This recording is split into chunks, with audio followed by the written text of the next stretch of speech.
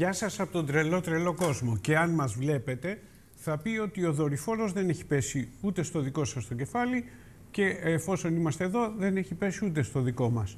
Ποιος δορυφόρος; Λοιπόν, είναι μια τρελή τρελή ιστορία, θεότρελη ιστορία. Μας έχουν τρελάνει όλο το Σαββατοκύριακο, τα διεθνή μη, μη, μου, μου, μου, μου, και μας λένε ότι πέφτει ο δορυφόρος ο Γκότσε, Γκόσε, G-O-C-E, εν πάση περιπτώσει. Ένας ευρωπαϊκός δορυφόρος που είχε εκτοξευτεί το 2009.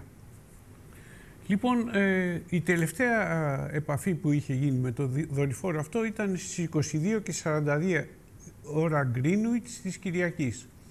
Από τότε δεν ξέρουμε τίποτα. Και βέβαια ελάχιστες πλέον οι πιθανότητες η πτώση του δορυφόρου να προκαλέσει ζημιές ή ακόμα και να βλέπουν και το δορυφόρο που λέμε. Αυτή ήταν η εκτόξευσή του το 2009. Είχε εκτοξευστεί τότε για να, από την Ευρωπαϊκή Υπηρεσία Διαστήματος που ε, ο δορυφόρος ονομαζόταν, λεγόταν Gravity Field and Steady State Ocean Circulation Explorer. Ζήγησε περισσότερο από ένα τόνο και το βράδυ της Κυριακής εντοπίστηκε από την ESA, την Ευρωπαϊκή Space Διαστημική Υπηρεσία, σε υψόμετρο, σε υψόμετρο χαμηλότερο από τα 130 χιλιόμετρα.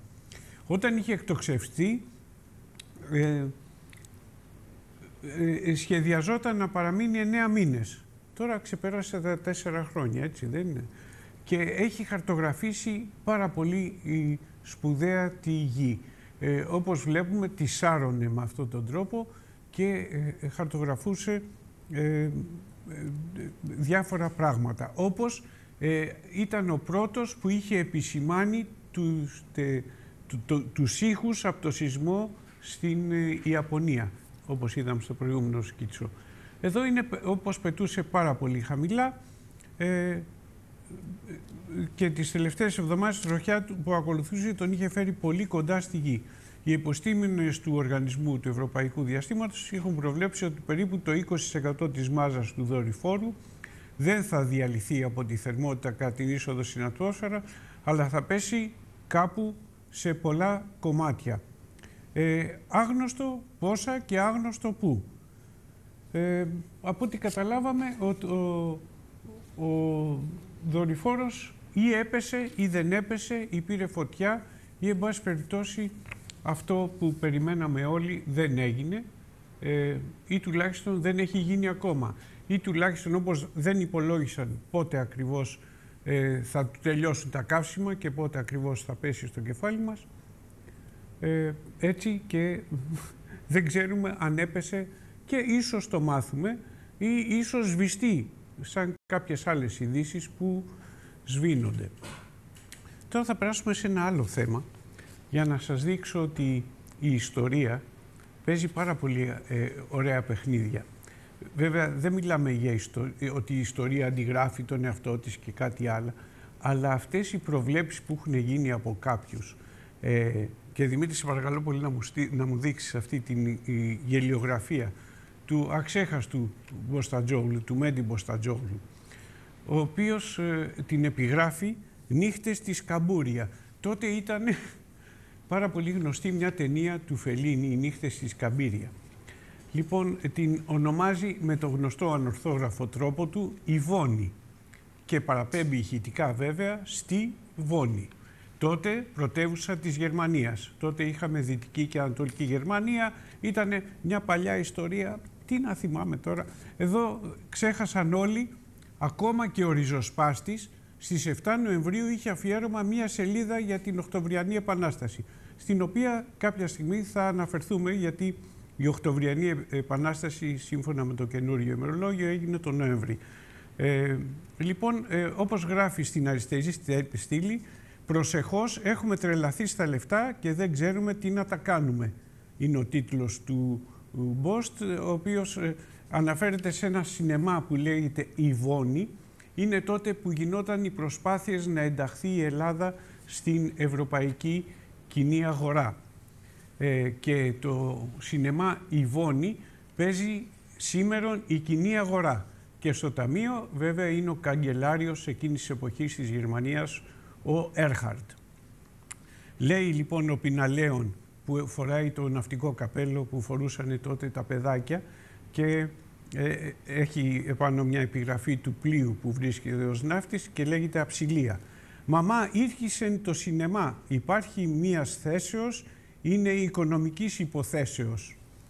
Και απαντάει η μαμά Ελλάς, «Παιδί μου, αφόσον έχει αρχίσει, δύσκολος κανείς να το παρακολουθήσει και είτε περικομωδίας είτε δράματος εμείς θερούμεθα και προγράμματος. Με αφορμή λοιπόν τις επαφές που έχει ε, η κυβέρνηση ε, αυτό τον καιρό με την Τρόικα, ε, θυμίζουμε ε, και τους άλλους τίτλους που έχει, το, μπορούμε να το βλέπουμε ακόμα, αριστερά, το, το σκίτσο αυτό του Μποστατζόλου, του, του γνωστού ως Μποστ, που λέει οι Γερμανοί ξανάρχονται και ξαναφεύγουν. Αυτό θα παιχτεί, λέει, την Παρασκευή. Και λίγα προσεχώς με γέμισες λύπη αριστερά. Αριστερά κάτω, αλλά το λύπη δεν είναι με ύψιλο βέβαια. Είναι η πονεμένη ιστορία μιας μητέρας που αγάπησε ένα χοντρόν περιμένοντας λεπτότητες και πρωταγωνιστή ψωροκόστενα. Το «με γέμισες λύπη» είναι γραμμένο με γιώτα. Ε, με την ευκαιρία αυτή θα ήθελα να θυμίσω ότι η οικονομική ελίτ, όπως γράφει ο γερμανικός τύπος ε, στη, στα σημερινά φύλλα του, η οικονομική λοιπόν ελίτ κατόρθωσε σε πείσμα της κρίσης να διπλασιάσει την περιουσία της τα τελευταία πέντε χρόνια. Σύμφωνα με την εταιρεία ε, WealthX, πλούτος Χ, έρευνα της ίδιας εταιρείας κατέγραψε αύξηση, κρατηθείτε, 20% σημείωσε ο πλούτος των εύπορων Ελλήνων. Μπορεί λοιπόν η όξυση της χρηματοοικονομικής και δημοσιονομικής κρίσης να έχει επιφέρει σημαντικές απώλειες στα εισοδήματα των μέσων και κατώτερων εισοδομάτων ε, και βαρύτατες κοινωνικές επιπτώσεις στις χώρες που πλήττονται περισσότερο, της Νότιας Ευρώπης και δι, της χώρας, της δικιάς μας. Ωστόσο η παγκόσμια οικονομική ελίτ παραμένει αλόβητη αυτό τουλάχιστον καταδεικνύει επωνομαζόμενη απογραφή των δισεκατομμυριούχων. Ο αριθμός λοιπόν των δισεκατομμυριούχων αυξήθηκε παγκοσμίως κατά 880 άτομα. Ε, έχουμε ελπίδα, έτσι. Άμα σκεφτούμε πόσο είναι ο πληθυσμός της γης, μπορούμε να σκεφτούμε ότι κάποια στιγμή με το οικονομικό σύστημα που επικρατεί, κάποτε και εμείς θα γίνουμε το 800ο, 81ο και πάει λέγοντας. Έτσι, μας υπόσχεται τουλάχιστον το σύστημα. Περισσότεροι από 2.170 άνθρωποι έχουν σήμερα στην κατοχή τους χρηματική περιουσία άνω του 1 δισεκατομμυρίου δολαρίων, με τα συνολικά περιουσιακά στοιχεία τους να έχουν υπερδιπλασιαστεί κατά την περασμένη πενταετία από 3,1 σε 6,5 τρισεκατομμύρια δολάρια. Ε, ειδικότερα για την Ελλάδα, η οποία διανύει αισίως τον έκτο χρόνο ύφεσης, έρχεται όμως η, η ανάπτυξη έτσι, ε, ε, ε, έρχεται. Η έρευνα καταγράφει 505 πολίτες με χρηματική περιουσία που υπερβαίνει τα 30 εκατομμύρια δολάρια. Πρόκειται για μια αύξηση της τάξεως του 11%. Σύμφωνα με την ίδια έρευνα πάντα, οι πιο πλούσιοι Έλληνες κατόρθωσαν μάλιστα να αυξήσουν τη συνολική τους περιουσία κατά 20%. Μεγαλύτερο ποσοστό αύξηση του πλούτου της οικονομικής ελίτ σημειώθηκε μόνο στη Ρουμανία.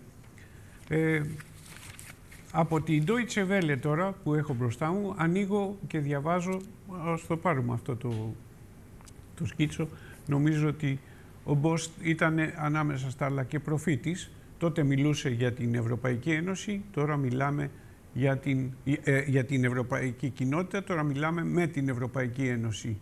Λοιπόν, ο πρόεδρος του Γερμανικού Ινστιτούτου IFO, Hans Werner Zinn ασκεί κριτική στη μείωση του βασικού επιτοκίου στην Ευρωζώνη και προτείνει για μια ακόμη φορά την έξοδο των χωρών που πλήττονται, της Ελλάδας, της Πορτογαλίας και της Ισπανίας, από το ευρώ.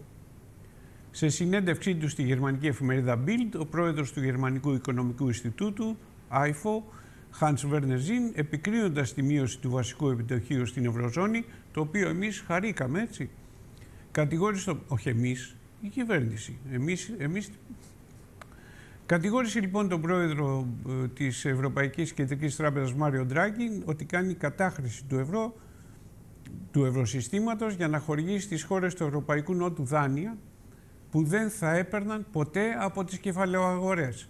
Έχετε καταλάβει, αφού σας διάβασα και το προηγούμενο ε, κείμενο για τη διάσωση των τραπεζών, ε, για την, ε, όχι για τη διάσωση των τραπεζών, γιατί αυτή τη στιγμή, μια και το ανέφερα, με εντατικούς ρυθμούς συνεχίζεται στο Βερολίνο η διαπραγματεύση για το σχηματισμό κυβέρνησης με θέμα τη μελλοντική διάσωση των ευρωπαϊκών τραπεζών.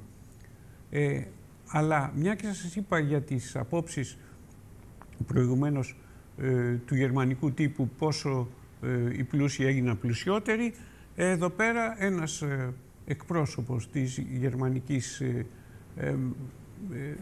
θα την πω ελίτ, γιατί αυτός είναι στα, κανονίζει τα οικονομικά προγράμματα της γερμανικής κυβέρνησης, είναι ένας από τους παράγοντες, σε πάση περιπτώσει, λέει ότι ε, αυτοί οι φτωχοί, οι κακόμοιροι, καλύτερα να φύγουν από το ευρώ ε, και ας σου δώσουν μια ευκαιρία να ξαναμπούν. Δηλαδή να ξανακερδίσει το ευρώ, Παύλα, Μάρκο το λέω, ε, γιατί το Μάρκο είναι, η Γερμανία κυριαρχεί, το νόμισμα της Γερμανίας είναι ο, ο Γερμανός Υπουργός Οικονομικών, ο Σόιμπλε, ε, αυτός θα αποφασίζει, αποφασίζει ακόμα και δεν ξέρουμε ο επόμενος Υπουργός και άμα αλλάξει η πολιτική, εδώ θα βάλουμε το χαλκά, ε, για την Ευρώπη, εκτός πια, εκτός πια εάν έρθουν τα πάνω κάτω.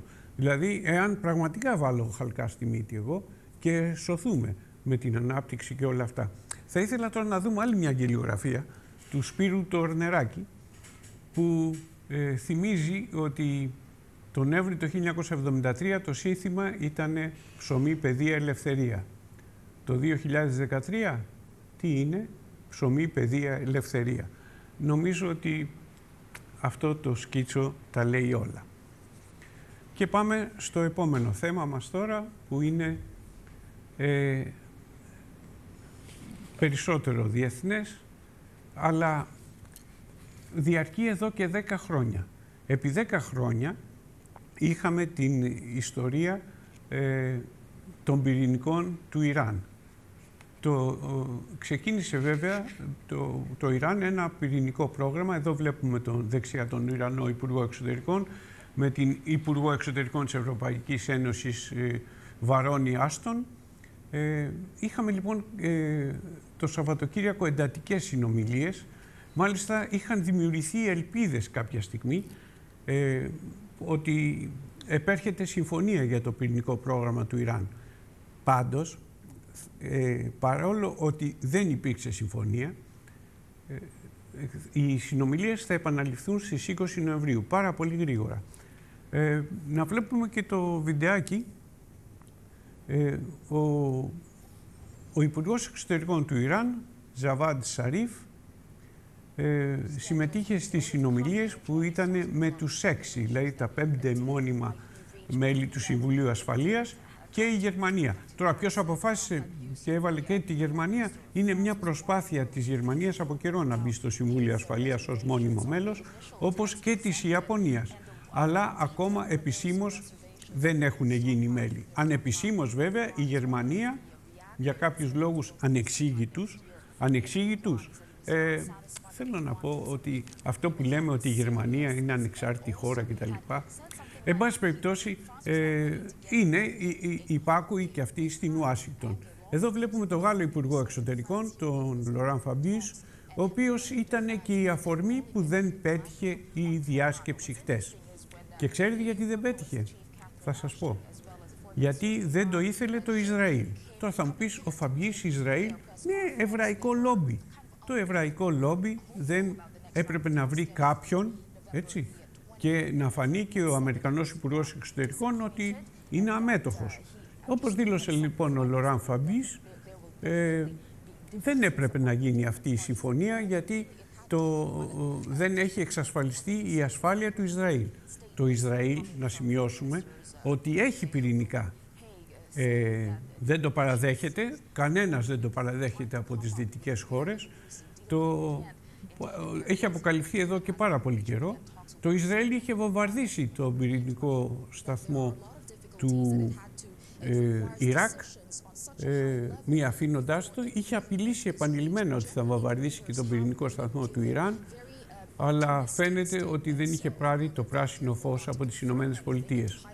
Τώρα που έχει έρθει ένας μετριοπαθής ε, πρόεδρος στο Ιράν, ο Ρουχανί, ε, βλέπουμε ότι οι Ηνωμένες Πολιτείες ε, πιεζόμενες από την παγκόσμια... Εδώ βλέπουμε και τον Υπουργό Εξωτερικών, τον Σεργέη Λαυρόφ, που έφτασε και αυτό στη Γενέβη για τις συνομιλίες.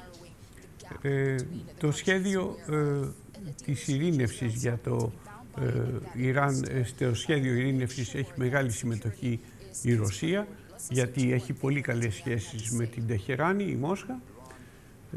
Ε, εδώ είναι λοιπόν ο, ο, ο άνθρωπος που δεν ήθελε να επέλθει αυτή η συμφωνία. Και μάλιστα έλεγε ότι αυτή η συμφωνία θα ήταν ένα πάρα πολύ καλό... Εδώ βλέπουμε εικόνες από τα, ε, τις πυρηνικές εγκαταστάσεις Τεχεράνης. Όπως είπε λοιπόν ο ε, Βενιαμίν Νετανιάου, ε, αυτό θα ήταν μια πολύ καλή συμφωνία για το Ιράν και πάρα πολύ κακή για όλο τον άλλο κόσμο. Εδώ είναι ότι πρέπει να μειωθεί ε, ο εμπλουτισμός του ουρανίου από τα 20% στα 5%. Θα του επιτρέψουν να συνεχίσει να έχει πυρηνικό πρόγραμμα, λένε οι δυτικοί.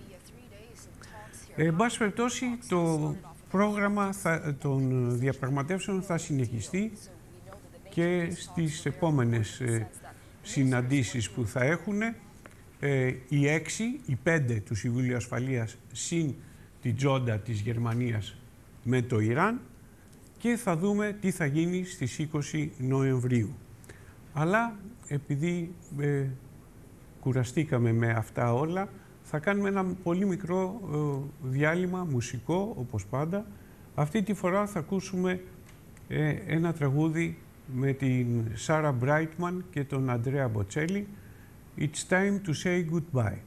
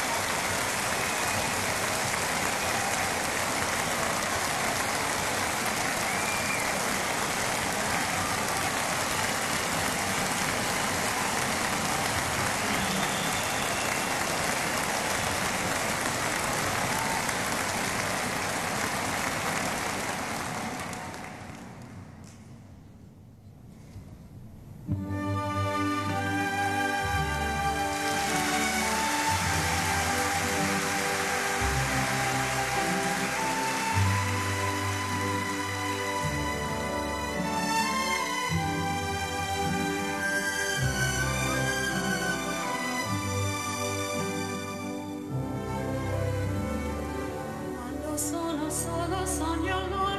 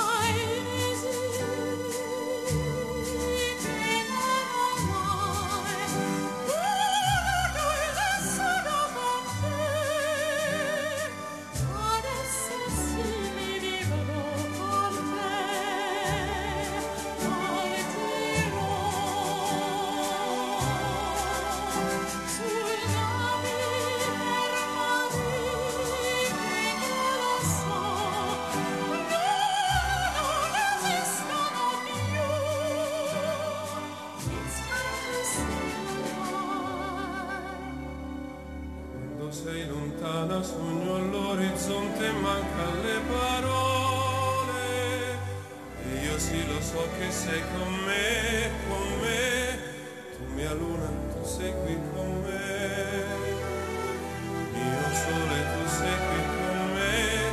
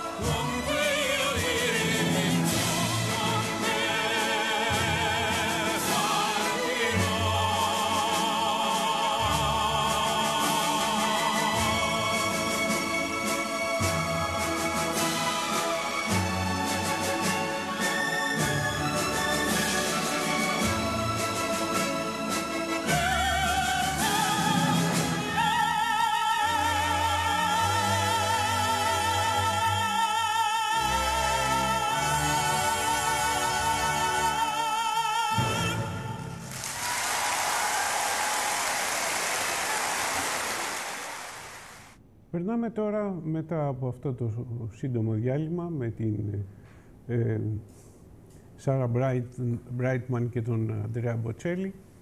Περνάμε σε μια διαμάχη που έχει ξεσπάσει και που ήταν απρόσμενη. Είναι μια διαμάχη ανάμεσα στην Ολλανδική κυβέρνηση και τη Ρωσία. Ε, αφορμή για όλα αυτά ήταν εκείνο το, το περίφημο πλοίο της Greenpeace που πήγε στην Αρκτική και ε, ε προσπάθησε να ε, ε, καταλάβει κάποιες ρωσικές εγκαταστάσεις ε, άντλησης πετρελαίου. η διαμάχη έφτασε μέχρι τη Μόσχα όπου το βασιλικό ζεύγος της Ολλανδίας δέχτηκε επίθεση με ντομάτες. Τώρα, πώς έγινε αυτό θα, θα σας πω η, το βασιλικό ζεύγος το οποίο πήγε για επίσημη επίσκεψη και συναντήθηκε με τον πρόεδρο Πούτιν ε, δεν φέρει βέβαια ε, καμία ευθύνη για, την, ε, ε, για όσα έχουν συμβεί αλλά υπήρξε και σύλληψη Ρώσου διπλωμάτη στην Ολλανδία που δημιουργήθηκε μετά από την σύλληψη του σκάφους της Greenpeace που βλέπουμε. Στις 6 Νοεμβρίου η υπόθεση έφτασε στο Διεθνές Δικαστήριο για το Δίκαιο της Θάλασσας, το ITLOS, ε, σχετικά με την προσφυγή της Ολλανδικής κυβέρνησης, η οποία διεκδικεί την απελευθέρωση του πληρώματος του πλοίου της Greenpeace, Greenpeace Arctic Sunrise, αλλά και του, του ίδιου του πλοίου. Και σύμφωνα με τον νομικό σύμβουλο της Διεθνούς ε, Greenpeace, Jasper Kjolings, η Ολλανδική κυβέρνηση υπερασπίστηκε τις θέσεις της με σθένωση. Η Ολλανδία στέκεται αποφασιστικά υπέρ της υποστήριξης του γράμματος του νόμου και του δικαιώματος στην ειρηνική διαμαρτυρία. Η Διεθνής Greenpeace χαιρετίζει την απόφαση της Ολλανδίας ως χώρα σημαίας του Arctic Sunrise, του πλοίου που έχουν συλλάβει οι Ρώσοι, να προχωρήσει στην απαραίτητο, στα απαραίτητα νομικά βήματα για την απελευθέρωση του πλοίου και των ε, μελών του Arctic 30. Η Διεθνής Greenpeace πιστεύει ότι το Διεθνές Δικαστήριο, λαμβάνοντας την απόφασή του, θα λάβει σοβαρά υπόψη του τα θεμελιώδη δικαιώματα του Arctic 30, καθώς και τις επιπτώσεις της κράτησης των μελών ε, που βρίσκονται ακόμα κρατούμενοι οι 30, τα 30 μέλη του πληρώματος, στο Μουνμάρσκ, παρά την απόφαση του δικαστηρίου να μεταφερθούν στην Αγία Πετρούπολη. Ένας από τους δικηγόρους των ακτιβιστών της Greenpeace ε, δήλωσε ότι οι συλληφθέντες αρχικά αντιμετώπιζαν την κατηγορία της πειρατείας σε ρωσικά ύδατα επειδή στο πλοίο δράσης τους εναντίον των εξορίξεων στην Αρκτική επιχείρησαν να ανεβούν σε εξέδρα άντλησης πετρελαίου της Gazprom. Τα μέλη του πληρώματος του παγοθραυστικού Arctic Sunrise, τέσσερις Ρώσοι, έξι Βρετανοί, δύο Καναδοί και ένας Αμερικανός και ένας Γάλλος, ε, και καθώς και δύο ανεξάρτητοι δημοσιογράφοι φωτορεπόρτες συνελήφθησαν στο Μουρμάνσκ μετά από έφοδο των ειδικών ρωσικών δυνάμεων. Ε, η ιστορία παραμένει και ε, θα ήθελα τώρα να ε, σκεφτούμε γιατί γίνεται όλη αυτή η φασαρία η οποία σημειωτέων ότι έχει περάσει κάπως ε, που λένε και στο σκάκι ε, η επιστημονική μάχη πίσω από την γεωπολιτική στην Αρκτική κρύβεται σε αυτή την ιστορία. Γιατί ε, όλοι θα, θα μου πείτε ότι η Greenpeace είναι μια ανεξάρτητη ε, μη κυβερνητική οργάνωση, μπλα μπλα μπλα μπλα μπλα. Η Ολλανδική κυβέρνηση ασχολείται τώρα. Η Ολλανδική κυβέρνηση ανήκει από τις ε, χώρες που ε, είναι ε, κυρίως φίλες της, των Ηνωμένων Πολιτειών ε, στην Ευρώπη. Παίζουν πολλά παιχνίδια αμερικάνικα στην Ευρώπη και θεωρείται η πλέον αμερικανική ε, ευρωπαϊκή χώρα για διάφορα ζητήματα ευρωπαϊκά. Η Αρκτική έχει χαρακτηριστεί ως το νέο Ελντοράντο των φυσικών πόρων και η Ρωσία σχεδιάζει να παρουσιάσει στα Ηνωμένα Έθνη νέα επιστημονικά επιχειρήματα για να αποδείξει ότι έχει κυριαρχικά δικαιώματα εκεί πέρα. Αυτό βέβαια ενοχλεί πάρα πολύ κόσμο και ήδη το φιλόδοξο στόχο για την επανασύσταση της Σοβιετικής στρατιωτικής βάσης στα νησιά της Νέας Σιβηρίας, στο Νοβοσιμπίρσκ, στον Ακτικό ωκεανό, βάζει η Ρωσία. το Ρωσικό Υπουργείο Άμυνας ξεκίνησε την υλοποίηση ενός μεγαλεπίβολου έργου, το οποίο ο αναπληρωτής Υπουργός Αρκάντι Μπαχίν το περιγράφει σαν την επιστροφή της Ρωσίας στην Αρκτική. 20 χρόνια μετά το σφράγισμα των στρατιωτικών βάσεων στα νησιά Νοβοσιμπίρσκ, νότια της Νέας Σιβηρίας, το Ρωσικό Υπεργείο Εθνικής Άμυνας ε, θα ανασυστήσει την παλιά ψυχροπολεμική Σοβιετική βάση.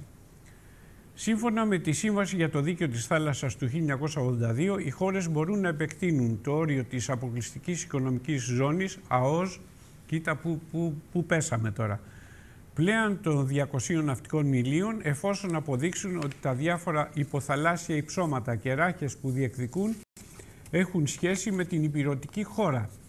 Εκεί ακριβώς πιάνει και η Τουρκία, η οποία λέει τα υψώματα αυτά που συνεχίζονται μέσα στη θάλασσα και φτάνουν μέχρι το μισό Αιγαίο, μπορεί να φτάνουν και μέχρι την, ε, τη βουλιαγμένη, ξέρω εγώ. Ανήκουν στη δικιά μας ΑΟΣ. Αλλά και αυτό το όριο έχει τους δικούς του περιορισμούς. Η αύξηση του ορίου δεν μπορεί να υπερβαίνει τα 150 μίλια. Δηλαδή Καβατζάρι, Λίμνο, Χίο κτλ. η Τουρκία. Έτσι. Δηλαδή αν η Ρωσία αποδείξει ότι οι υποθαλάσσιες ράχες Λομονόσοφ, Μεντελέγεφ που διεκδικεί είναι η φυσική συνέχεια της Υπήρου, τότε μπορούμε να αυξήσουμε το εξωτερικό όριο της υπηρετικής υφαλοκρηπίδας κατά 150 ναυτικά μίλια, λένε Ρώσοι επιστήμονες, από τις γραμμές βάσης, από τις οποίες μετράται το πλάτος της χωρικής θάλασσας. Όχι όμως περισσότερο. Καταλαβαίνετε τώρα τι περίεργα πράγματα συμβαίνουν με την ΑΟΣ. Μας έχουν τρελάνει ότι η ΑΟΣ είναι η ε, αποκλειστική οικονομική ζώνη που διεκδικεί το κάθε έδαφος. Τώρα εξαιτίας του Ελντοράντο που υπάρχει στην Αρκτική ε, φτάνει να μας κάνουν να πιστέψουμε ότι ε, αυτό που λένε το επιχείρημα των Τούρκων. Δηλαδή και οι Τούρκοι δεν έχουν, ε, έχουν επιχείρημα το οποίο το βασίζουν σε άλλα συμφέροντα, τα οποία υποστηρίζουν και οι Ρώσοι. Μαλλιά κουβάρια θα γινούμε και ας λένε ότι δεν υπάρχει περίπτωση να ε, έγινε και συζήτηση χθες στη Βουλή. Ο Κακλαμάνης, ο, ο πρώην πρόεδρος της Βουλής, ο Απόστολος Κακλαμάνης, υπενθύμησε ότι κάποιος ε, από τη Νέα Δημοκρατία, δεν θυμάμαι τώρα ποιος ακριβώς, αλλά παρακολουθώντας αυτό το τριήμερο ε, ε, μαραθώνιο, μαραθώνιο, εν πάση περιπτώσει, στη Βουλή, ε, είπε λοιπόν ο Απόστολος Κακλαμάνης ότι ο, ο κάποιος από τη Νέα Δημοκρατία αναφέρθηκε σε, προ... σε ετοιμότητα για ενδεχόμενη τουρκική επίθεση. Και ο βουλευτής ε, το διέψευσε. Ε, ε, η βουλευτής ή η υφυπουργός, ή, δεν θυμάμαι, ειλικρινά δεν θυμάμαι, πάντως το γεγονός έχει καταγραφεί από τις κάμερες και το, έχει, το, έχει, ε, το διάβασα και στη Ζούγκλα το πρωί που έκανα ένα, ένα ταξίδι στο διαδίκτυο στο Ζουγκλατζία. Λοιπόν, ε, το 2010 με πρωτοβουλία του Ακαδημαϊκού Λαβερόφ, η Ομοσπονδιακή Υπηρεσία για τη Χρήση του Υπεδάφους, Ροσνέντρα, πρότεινε στη Ρωσική Ακαδημία ε, Επιστημών την ενεργό συμμετοχή της στη διαδικασία της προετοιμασίας του φακέλου της Ρωσίας προς την Επιτροπή του ΟΗΕ για τα όρια της υφαλοκρηπίδας. Στο πλαίσιο της συνεργασίας, οι ερευνητές της ΡΑΕ έπρεπε να δημιουργήσουν το μοντέλο της γεωλογικής εξέλιξης της περιοχής της Ακτικής. Μόλις πέσει λοιπόν αυτό το σχέδιο το ρώσικο, περιμένετε το σχέδιο της Άγκυρας. Ε, μπορεί η Ρωσία με την Άγκυρα να μην συμπλέουν σε πάρα πολλά πράγματα. Η Ρωσία εξάλλου δεν ανήκει στο ΝΑΤΟ παρά τις καλές σχέσεις που φέρεται να έχει. Η Τουρκία είναι χώρα μέλος του ΝΑΤΟ. Έχει βέβαια κάζους μπέλη με μια άλλη χώρα μέλος του ΝΑΤΟ πώς θα μπερδεύουν τα πράγματα. Οι, οι γεωπολιτικές, έτσι. Και φυσικά ε, ε, ελπίζουμε να μην ε, ισχύσει αυτό που κάποτε είπε ο πρώην Πρωθυπουργός Μητσοτάκης, ότι άντε τώρα να τα βρούμε στη μέση να τελειώνουμε. Ε, εν πάση περιπτώσει, κάτι θα έχουμε να ασχολούμαστε στα επόμενα, στις επόμενες μήνες, χρόνια όχι μόνο για την ΑΟΣ, αλλά και για την υφαλοκρηπίδα. Γιατί και για την υφαλοκρηπίδα μιλάνε οι Ρώσοι επιστήμονες. Και όταν μιλάμε για τη Ρωσία, μην ξεχνάμε ότι είναι μια ε, μεγάλη δύναμη. Κάποιοι προτρέπουν να, να προσκοληθούμε στο άρμα της Ρωσίας, οπότε αν προσκοληθούμε στο άρμα της Ρωσίας και έχει τις ίδιες απόψεις με την Τουρκία, θα πρέπει να υπακούσουμε πάλι τις τουρκικές απόψεις, όπως μας υποχρεώνουν τώρα που είμαστε προσδεδεμένοι στο άρμα του ΝΑΤΟ, των ΗΠΑ πιο ΝΑΤΟ, εν πάση περιπτώσει, ε, να είμαστε πάλι υπάκοοι στην Τουρκία. Το γωνιακό οικόπεδο το έχει η Τουρκία και ας λέμε εμείς ότι έχουμε οικόπεδο που εξάλλου το έχουμε πει αυτό ουδέποτε ανεξάρτητη. Τώρα μια και μιλάμε για ελληνοτουρκικά θα θυμίσω ότι πριν 11 χρόνια τέτοιες μέρες είχαμε το σχέδιο Ανάν. Το θυμόσαστε, το αλίστου αυτό μνήμης σχέδιο. Ο Ανάν ζει και βασιλεύει. Ε, 11 χρόνια λοιπόν, πριν 11 χρόνια είχε γίνει και το περίφημο δημοψήφισμα στην Κύπρο. Ε, τους την είχε φέρει ο, ο συγχωρεμένος ο Τάσος ο Παπαδόπουλος με εκείνο το περίφημο συγκινητικό διάγγελμά του και οι Κύπροι, οι Έλληνο-Κύπροι είχαν απορρίψει ε, με μεγάλο ποσοστό το σχέδιο Ανάν. Ε, ενώ οι Τουρκοκύπροι το είχαν υποστηρίξει. Θέλω να θυμίσω εδώ ότι ο τότε αρχηγός της αντιπολίτευσης, ο κύριος Αναστασιάδης, ο σημερινός πρόεδρος της Κύπρου, ήταν υπέρ του σχεδίου ΑΝΑΝ. Τώρα να μην κάνουμε ανάλυση τι είναι αυτό το περίφημο σχέδιο ΑΝΑΝ και τι πρόβλεπε, γιατί θα μας πάρει μέρες. Με λίγα λόγια όμως, η, η Κύπρος εξακολουθούσε να μην είναι ανεξάρτητο κράτος, όπως δεν είναι και τώρα, ε, αλλά υπό Βρετανική κυριαρχία και ορισμένες αποφάσεις θα έπαιρνε και Αμερικανός δικαστής. Τέλος πάντων. Λοιπόν, βγαίνει σήμερα ο πρόεδρος Αναστασία, όχι σήμερα, χτες, και ανάγκη να υπάρξει συμφωνία κοινή δήλωσης που θα καθορίζει τις βασικές αρχές της λύσης του Κυπριακού. Δήλωσε, καθώς ε, είπε επίσης ότι είμαστε έτοιμοι για διάλογο ουσίας. Θα ήταν παγίδα να εμπλακούμε σε ένα διάλογο εν γνώση μας ότι οι βασικές αρχές λύσης δεν γίνονται αποδεκτές, υποστήριξε ο πρόεδρος του Κύπρου Νίκος Αναστασιάδης, διαμηνύοντας προς τα Ηνωμένα Έθνη και τρίτους, σε εισαγωγικά το τρίτους, ότι η ελληνοκυπριακή πλευρά είναι έτοιμη και αποφασισμένη να εμπλακεί σε ένα διάλογο ουσίας. Επανέλαβε δε την ανάγκη να υπάρξει συμφωνία κοινής δήλωσης που θα καθορίζει με σαφήνεια και χωρίς κάποιο ίχνος αμφισβήτησης τις βασικές αρχές λύσης. Αόριστα όλα αυτά θα μου πείτε.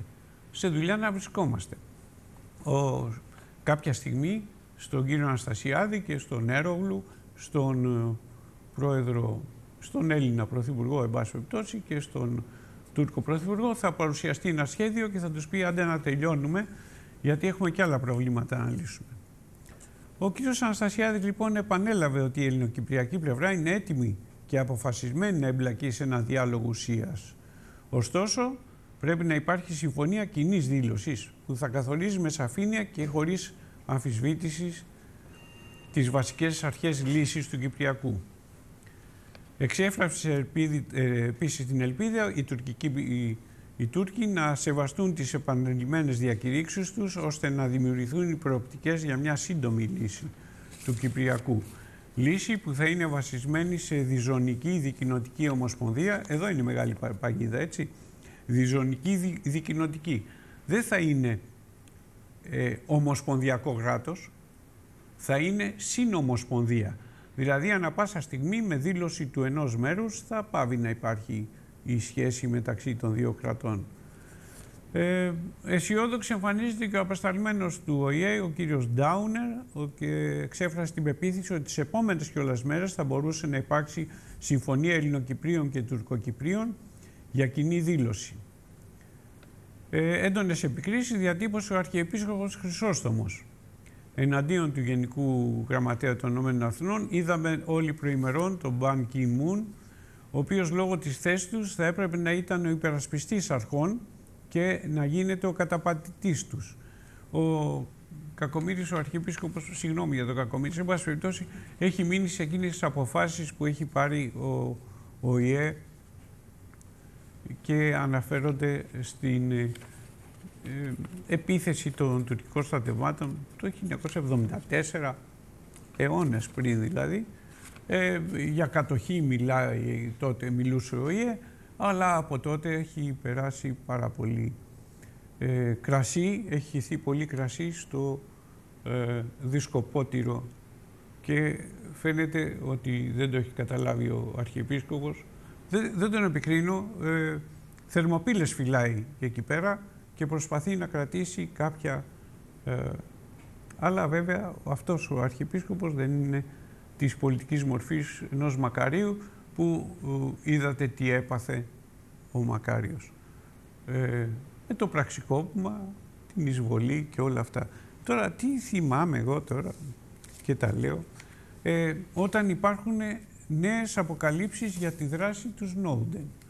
Ο, ο Σφυριχτράκιας αυτός ε, ο άνθρωπος που έχει αναστατώσει τις σχέσεις όχι μόνο της ε, Ευρώπης με την, ε, με την Μητρόπολη, την, τις Ηνωμένες Πολιτείες, όχι μόνο τις σχέσεις Ρωσίας-Αμερικής, όχι μόνο τις σχέσεις Γερμανίας, αλλά και εδώ τις δικές μας σχέσεις. Βέβαια, εμείς κάναμε γαργάρα το ότι υπάρχει ε, κέντρο παρακολούθησης στην Αμερικανική Πρεσβεία.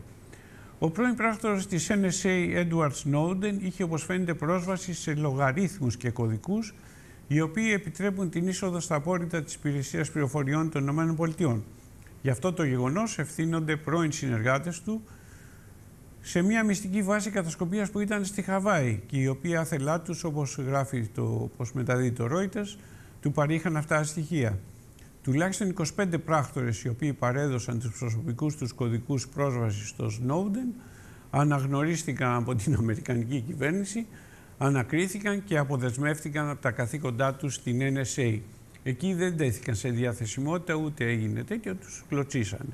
Η πλειονότητα εξ αυτών ισχυρίστηκε ότι η διαρροή έγινε δίχως τη θέλησή τους, καθώς ο Σνόντεν, ο οποίος αποτελούσε τον υπεύθυνο του συστήματος της βάσης, τους είχε ζητήσει ορισμένα στοιχεία σχετικά με κάποιες εργασίες που χρειάζονταν να γίνουν στο σύστημα. Δεν μπορούσαν να γνωρίζουν τα κίνητρα πίσω από τα αιτήματα τους Σνόντεν. Άλλες πηγές τώρα αποκαλύπτουν πως κατά την πεντάμινη θητεία τους στη βάση της Χαβάης ο Σνόντεν κατέβαζε από τα αρχεία του συστήματος του ηλεκτρονικού της NSA άκρος απόρριτα ντοκουμέντα τα οποία δεν ανήκουν μόνο στην Αμερικανική Υπηρεσία Πληροφοριών αλλά και στη Βρετανική κυβέρνηση ε, όπου, από την έδρα επικοινωνιών της Βρετανικής κυβέρνησης όπου είναι ε, άμεσα διασυνδεδεμένη η Ουάσιγκτον, ε, το κέντρο της NSA. Είναι γνωστό ότι οι Βρετανοί αποκατακτητές της Αμερικής έχουν γίνει ε, ε, υπάκουοι ουραγοί της Ουάσιγκτον.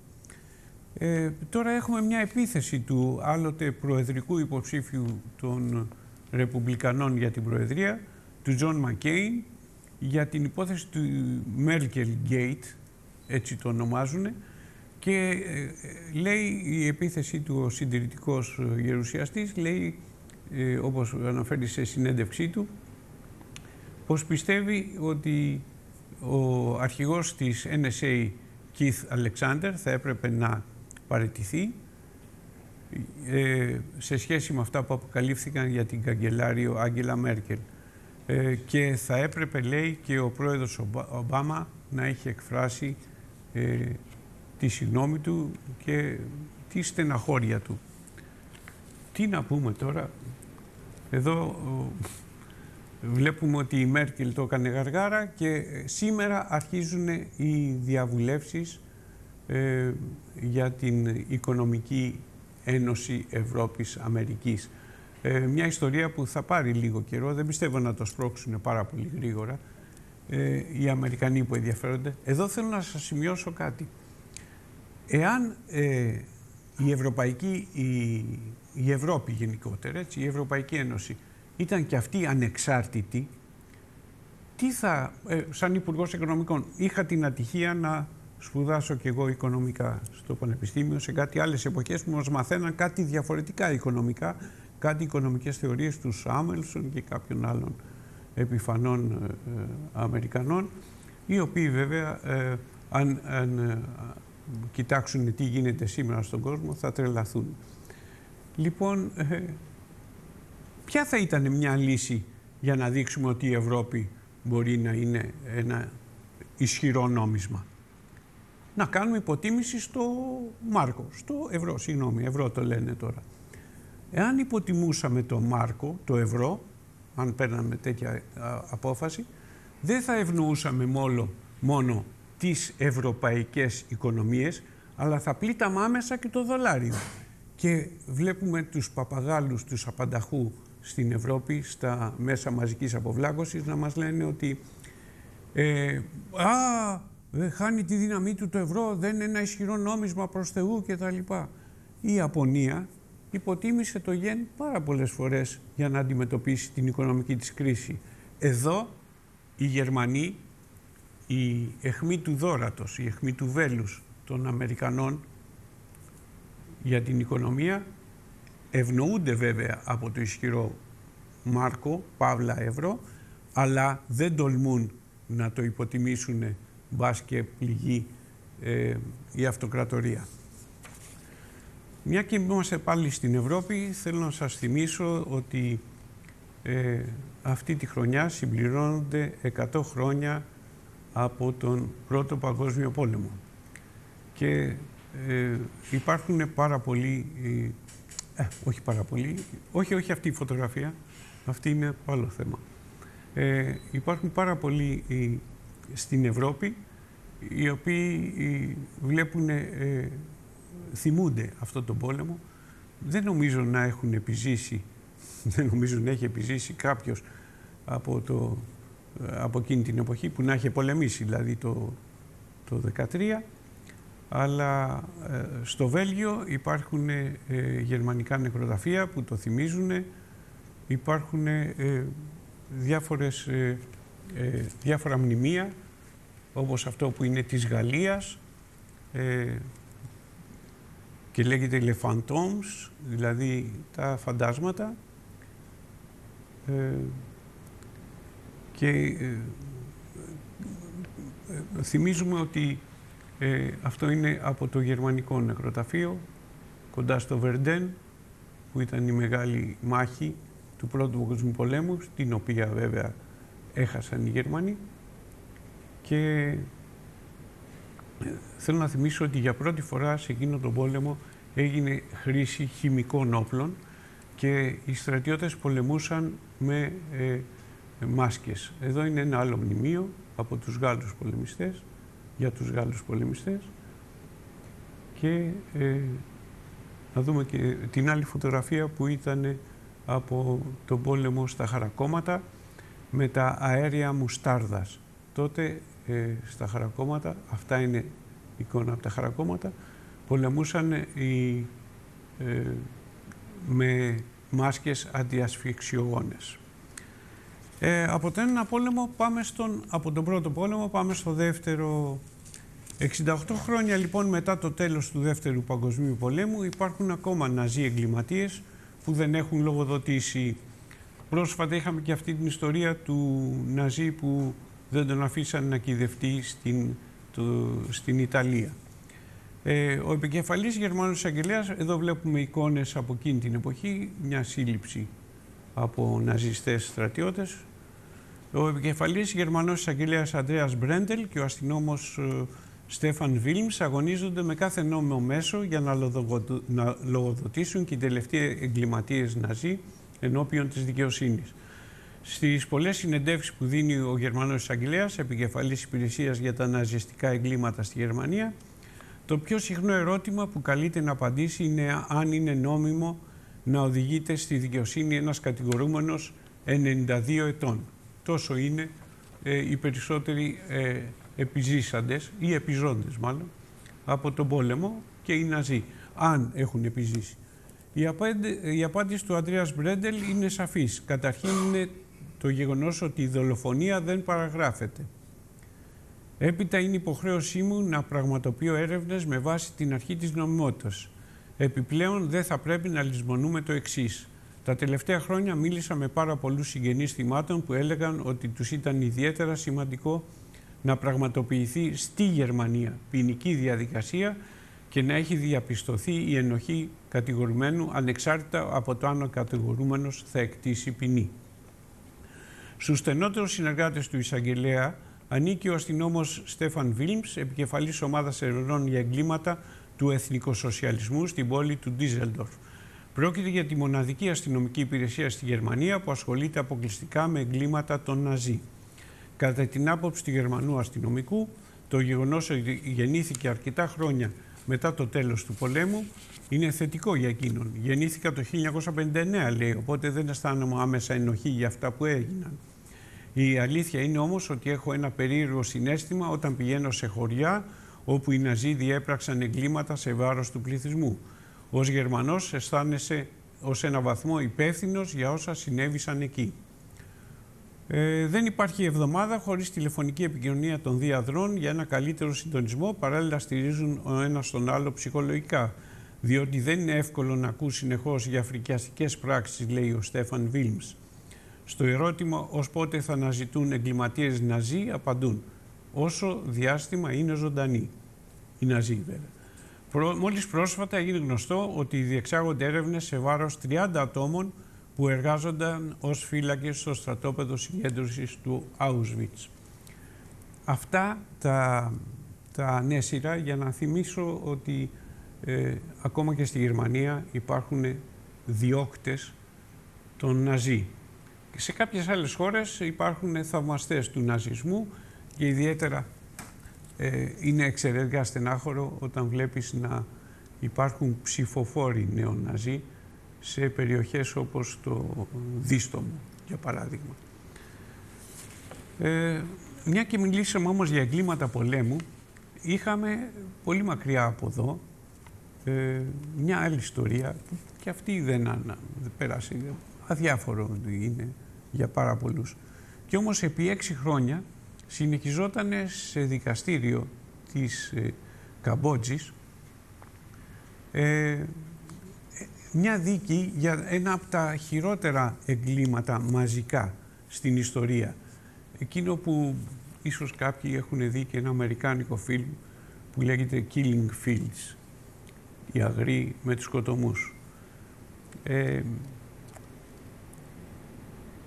δύο ε, από τους ε, ε, επιζώντες ε, της ηγεσίας τότε του Νοροντόμ Σιχανούκ είναι ο Νουόν Κία που είναι 87 χρόνων και ο Χιέου Σαμφάν 82 και ε, αυτοί έκαναν την, ε, έκλεισαν τη δίκη με την απολογία τους.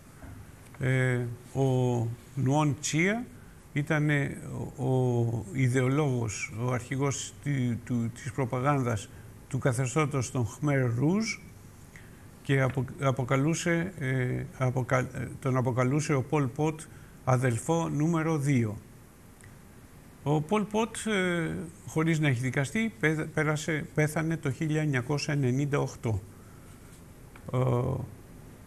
Εδώ είναι μια αναπαράσταση από τα εγκλήματα των Ερυθρών Χμέρ ε, και όπως δήλωσε ο Κιέου Σαμφάν ε, που, που ήταν επικεφαλής της Δημοκρατικής Καμπότζης ε, εκείνο, εκείνη την εποχή. Ε, όχι, θέλω να θυμηθούμε, όχι να θυμηθούμε, μας υπενθυμίζει το τηλεγράφημα που διαβάζω ότι ο Νεόν Τσι ε, φορούσε συνέχεια ε, μαύρα γυαλιά και ζητούσε να χαμηλώσουν τα φώτα ε, στη διάρκεια της δίκης του. Ε, μια παρατήρηση έτσι, ε, εκείνο που τον ένοιαζε δηλαδή ήταν να μην τυφλωθεί στα 84 χρόνια του και όχι να ζητήσει συγγνώμη για αυτά που υπέστη ο λαός ε, από ένα καθεστώς το οποίο ε, μπορούσε να χαρακτηριστεί ε, άνετα, όχι απλώς απάνθρωπο, ήταν ε, οι σφαγές τρομερές που έγιναν εκείνη την εποχή. Και για να κλείσουμε, θα κλείσουμε με ένα άλλο μικρό θεματάκι, το οποίο ε, διάβασα ε, για όσους ταξιδεύουν με αυτοκίνητο έχω ταξιδέψει βέβαια πριν πολλά χρόνια όταν δεν με ένοιαζε να ταξιδέψω και όταν μπορούσες άνετα να ταξιδεύεις ε, ε, χωρίς πολλές διαδικασίες με το αυτοκίνητο ε, και να πας στη Γερμανία. Στη Γερμανία δεν υπάρχουν διόδια στους αυτοκινητόδρομους. Λοιπόν, η Κομισιόν δεν έχει σοβαρές αντιρρήσεις για την επιβολή τέλους στα ξένα γιοταχή που θα ε, διασχίζουν τους γερμανικούς αυτοκινητόδρομους. Αυτό πρότειναν οι βαβαροί χριστιανοκοινωνιστές, καθώς κάτι τέτοιο υποστηρίζουν ότι δεν αντίκειται στο ευρωπαϊκό δίκαιο. Όσοι λοιπόν σχεδιάζετε να πάτε στη Γερμανία, να ξέρετε ότι ε, να μην το χαρακτηρίσω ρατσισμό, εάν είσαστε ξένοι πολίτες και δεν είστε Γερμανοί και δεν ξέρω τι θα γίνει με αυτούς που έχουν διπλή υπηκότητα, αλλά εν πάση περιπτώσει αυτή είναι μια άλλη ιστορία, ε, θα πρέπει να πληρώνετε διόδια και στους αυτοκινητόδρομους.